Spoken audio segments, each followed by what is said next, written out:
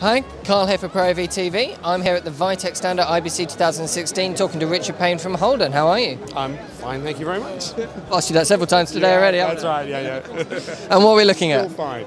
Um, we're looking at a very exciting new product called the Paralinx Darts. Now, This is looks the- really nice. This is the first showing here at IBC, and this is really quite revolutionary because, as you can see, we've got it mounted here. It's a video sender, which will send uncompressed video at up to 25 or 30 frames a second in HD, uh, 300 meters to a receiver. And it has a micro HDMI input, uh, and it also has a USB output, which can be used to power micro or small cameras like this GoPro here.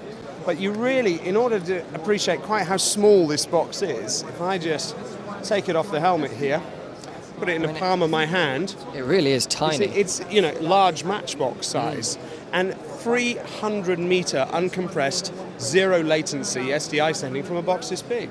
So it can be powered. You can mount a, an LP-E6, a Canon battery, straight on the back like that. So you don't need an external power source. And then, as I say, the USB out will be powered, so you can power your camera from that. So this will be out in about you know a month, two months time, and will retail probably about two and a half thousand pounds. So it will actually be a very low cost way of sending video um, 300 meters. How do you think this fits into the Paralinx line?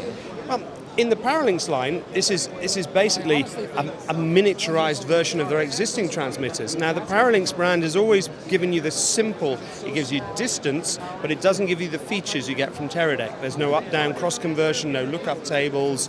Uh, there's no dual output ones which have both HDMI and SDI. In fact, this one, although it has micro HDMI input on the receiver, which is here, we only have an SDI output. So it's a very particular sort of workflow. But if you're trying to int- integrate action cams, or if you want even a lightweight transmitter receiver for the top of your camera, which, which is a little bit lower profile, because obviously you know, we can move our aerials a little bit like this, and we can have this on top of the camera. It doesn't take up so much room. If, you're, if you've got a camera on your shoulder and you're walking through doorways and things, you know, the aerials on top of the, the larger units can, can cause you problems.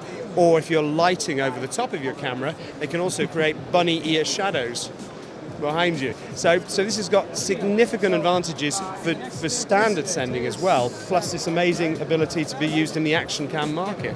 This looks really nice. Thank you very much. Cheers.